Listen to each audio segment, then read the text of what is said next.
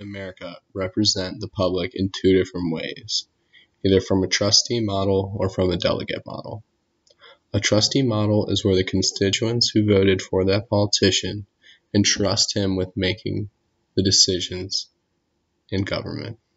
The delegate model is where the constituents vote for them to represent them and their views. When it comes to the case of foreign policy in the United States, Americans are rarely concerned with international issues. So in this case, the politician would act as a trustee.